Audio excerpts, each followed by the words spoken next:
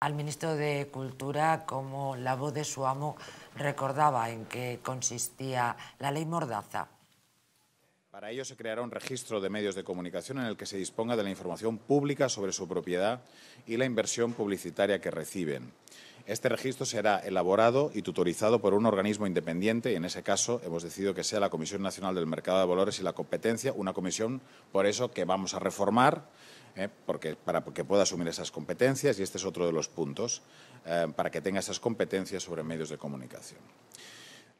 Bueno, pues este es el individuo eh, que al parecer está preparando eh, Pedro Sánchez como sustitución de para enterrar a Yolanda Díaz. Pero fíjate el oxímoron que es eso, que el PSOE esté preparando la persona que va a ser el dirigente del partido de izquierda que supuestamente le hace competencia al PSOE. Porque no se la hace. ¿Eh? Que no se la hace. Claro, en realidad es como el Pero eso, del oso. si te pones en la piel de los ultraizquierdistas, eso es una afrenta. Entonces no van a permitir, precisamente porque lo está colocando Pedro Sánchez, no van a permitir que Urtasun sea el nuevo líder de la ultraizquierda, porque eso es, ellos pretenden, seguramente a nosotros nos parece absurdo, sabemos que todo es lo mismo, pero desde su punto de vista, en su psicología, ellos pretenden ser algo diferente al PSOE. Entonces, si el PSOE coloca al próximo líder de la ultraizquierda, pues van a decir nanay, y eso va a abrir otra guerra fratricida en donde les va a ser muy difícil recomponer esa ultraizquierda que es, como sabemos, pues, eh, pues como las muñequitas estas rusas, que siempre sale otra y siempre es la misma en realidad. Porque esto no es ni más ni menos que la confirmación de toda la historia de la izquierda europea y ahora también americana, que no es ni más ni menos que una continua manipulación y maniobras para la depuración y para mantener a alguien como el, el amo, ¿no? que. Pero si es que en todos los países en los que ha habido una dictadura, y por ejemplo en, las provincias vascongadas, eh, gobernando el PNV y ETA y H. Les encantan hacer listas. Siempre tienen listas de gente. ¿Qué gente es la que ha aceptado el carnet de identidad vasco y qué gente no? Qué gente es la que va a, un de, unos determinados colegios y qué gente es la que no, qué gente vive en determinados barrios y qué gente no, porque todo eso te determina, todo eso es una amenaza velada a decir, oye, todo lo que esté dentro de esta lista puede sufrir el peso de la mayor injusticia. Y la mayor injusticia en este caso es que desde una ley ilegítima, ilegítima, esté condenada la persona que quiere vivir en verdad y en libertad. Eso es una dictadura. Cuando alguien en un medio de comunicación eh, dice, o por ejemplo, pone los audios que hemos escuchado esta semana en las que se, se consolida la fundada sospecha social de que Pedro Sánchez es el capo, es el, el jefe el de la corrupción, el es el gran jefe. El gran jefe y el puto amo. Claro, y, y, y, a lo mejor, bueno, puede ser también el puto ladrón, ¿no? Pudiera ser. Presuntamente. Pero, presuntamente, ¿no?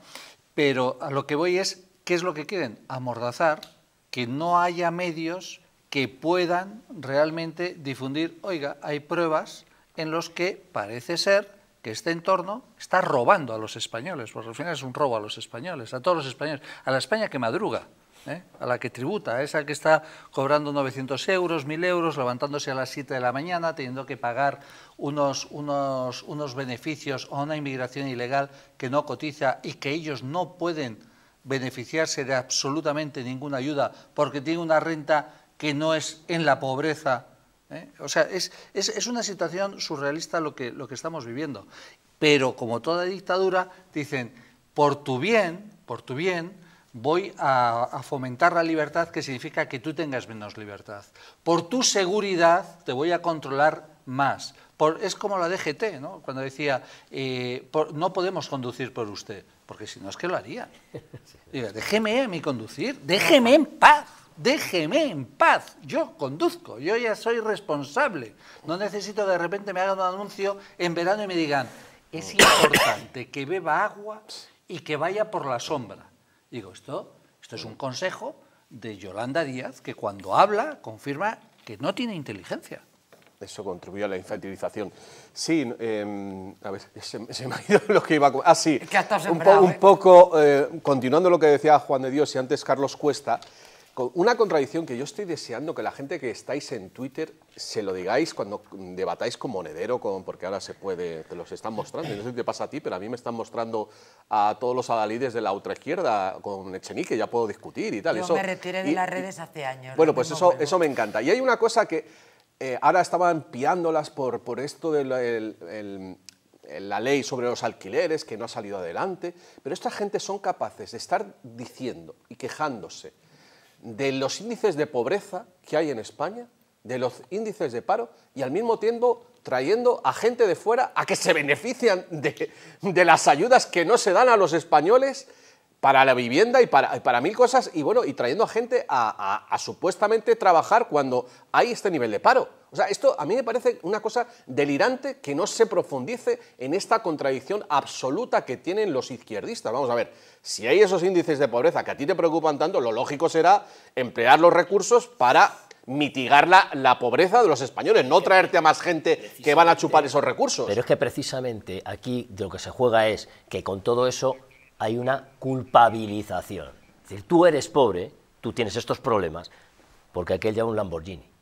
No sé, yo no he visto tantos, creo que hay 20 nada más eh, al año en, España. Pero ese es un poco el juego y eso, eso es lo verdaderamente pernicioso. Pero perdona, pero al mismo tiempo están diciendo que solo los que tengan coches nuevos pueden circular por las ciudades.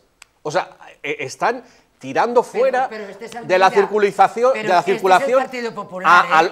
a, la gente, a los obreros, porque tienen un coche antiguo. Que este es el Partido Popular, lo digo para que quede claro. Todos. Y que, por cierto... Todos menos Vox. Eh, y Vox es el que ha ganado y se le, le ha leído la cartilla a Almeida, que, por cierto, mintió, porque dijo que estas áreas de, de Madrid, perdón, era cosa de Carmena, y las mantuvo. bueno, dicho esto... De verdad, déjame decir una cosa, porque es que o sea, no hay un puñetero periodista que le recuerde a Almeida. No he visto a nadie que le haya preguntado a Almeida por qué mintió en esas elecciones. ¿Tú has visto esa, entrevista, ese, canutazo que decimos los periodistas? Nadie se lo ha hecho. Yo alucino también. De, todos modos, Rafa, Yo si le veo se lo pregunto. ¿eh? Desgraciadamente en España... que lo justifique por lo menos, aunque Lo preguntes, Aunque lo preguntes, el problema real en España se olvida. es que la mentira no está penalizada. Eso. no, y que la gente tiene una memoria muy a corto plazo y se le olvida las pero, cosas. Pero que miente, es decir, es imposible ya que ningún, ninguna persona que vote al PSOE, si oye las declaraciones, las distintas declaraciones de, de Pedro Sánchez, no puede decir que Sánchez no miente. Miente claramente miente claramente. Pero consideran que, oye, miente, pero al menos no gana la derecha.